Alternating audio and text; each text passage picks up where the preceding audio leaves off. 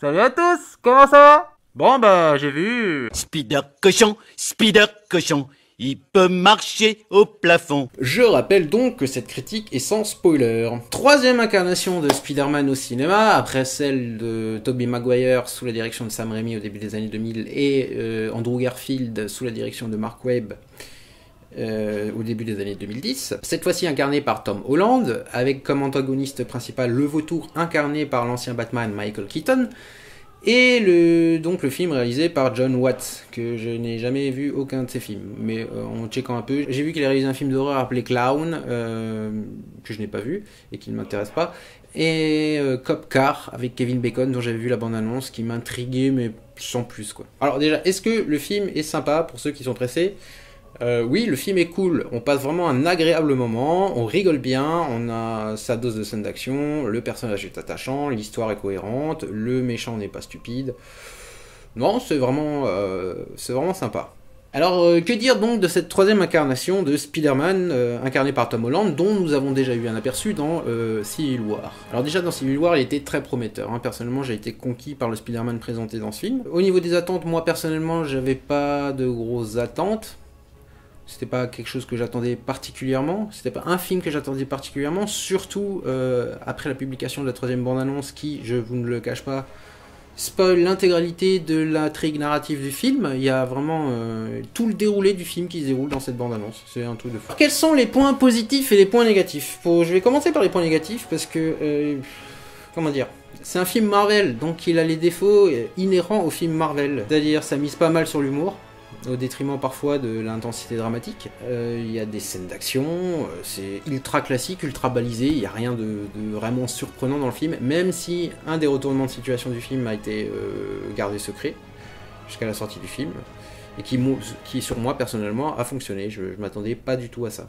Dans les points négatifs, qu'est-ce qu'il y avait d'autre? La réalisation, elle est ultra bateau. Il n'y a rien, il n'y a pas un plan qui m'a vraiment réellement marqué. Il n'y a pas, il y a pas truc de fou. Enfin, je veux dire, The Amazing Spider-Man, on peut lui reprocher beaucoup de choses, mais euh, au niveau visuel, il est marquant.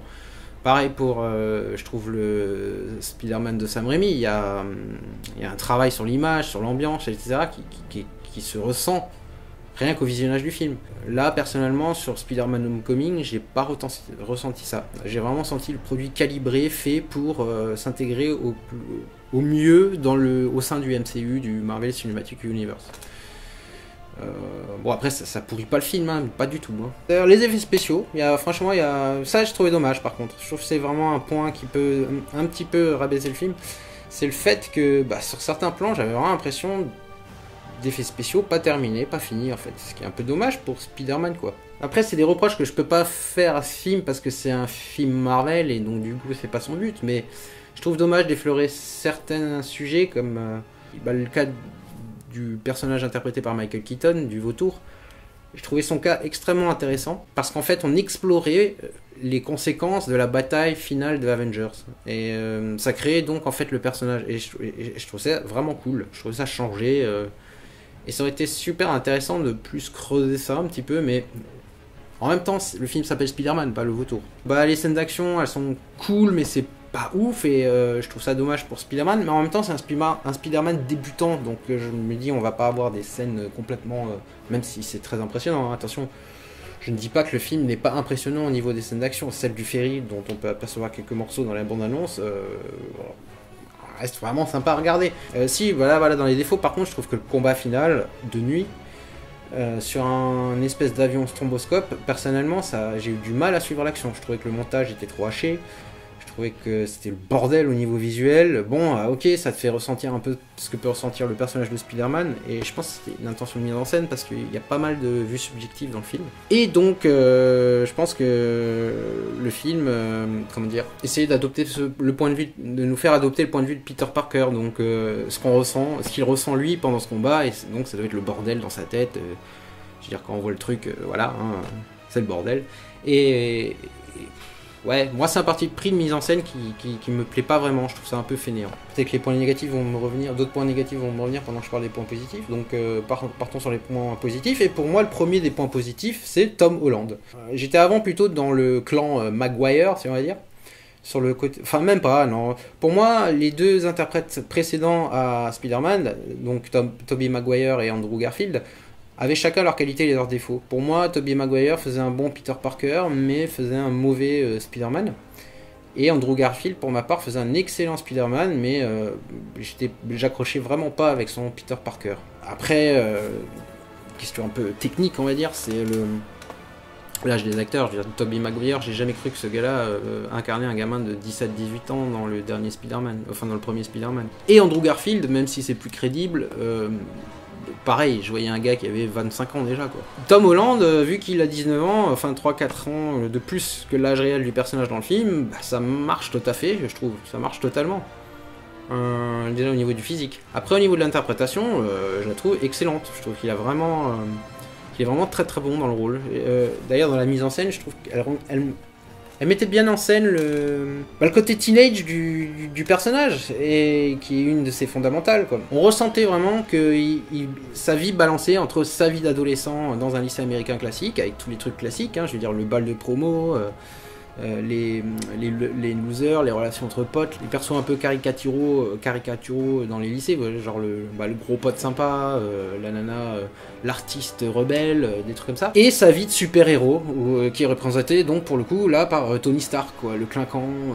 pour lui c'est ça en fait, ça c'est bien vu. Je trouve qu'il y a pas mal de bonnes idées de mise en scène dedans, de, de, de symbolisme, etc. qui sont bien vues.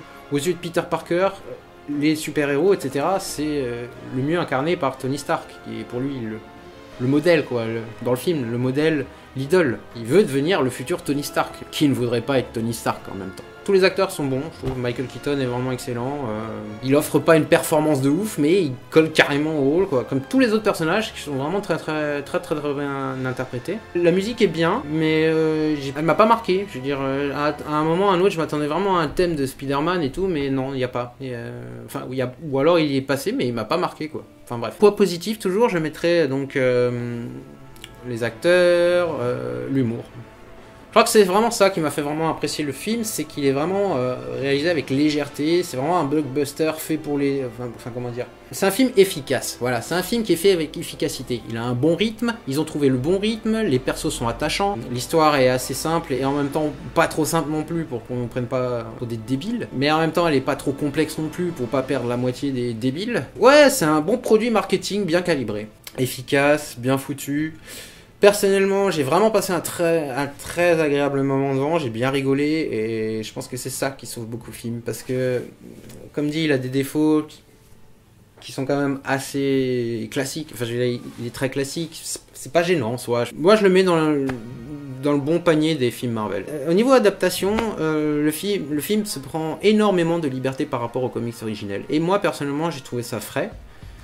Parce que c'est pas des changements vraiment euh, qui changent fondamentalement le personnage. Je le fait que May soit plus jeune, euh, par exemple, alors que dans la BD c'est une vieille mamie de 60-70 ans, là euh, c'est plutôt une euh, MILF de 45 ans. En fait, ça apporte une autre dynamique à la relation et une meilleure dynamique, je trouve, à la relation. Euh, L'origine du costume de Spider-Man, tout simplement, hein, qui n'a rien à voir avec l'origine, mais en même temps c'est plus crédible et plus réaliste par rapport au personnage.